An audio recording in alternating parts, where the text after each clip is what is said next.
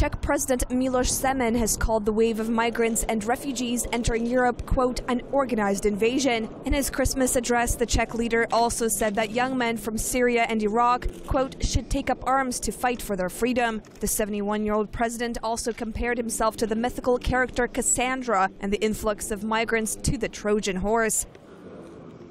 A large majority of the illegal migrants are young men in good health and single. I wonder why these men are not taking up arms to go fight for the freedom of their countries against the Islamic State. Sometimes I feel like Cassandra warning the Trojans not to bring the horse into the city.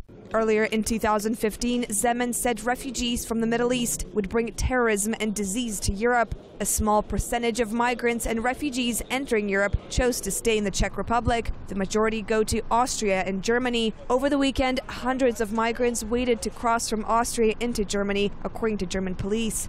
The federal police here in Rosenheim are still facing huge challenges. Just like in previous weeks and months, we have between 1,000 and 2,000 migrants coming every day. We accommodate and register them before we pass them on to refugee centers where they can ask for asylum.